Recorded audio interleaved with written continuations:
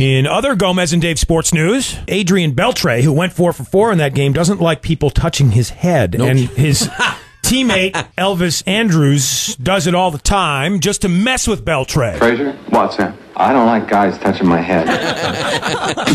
Gomez and Dave in the morning.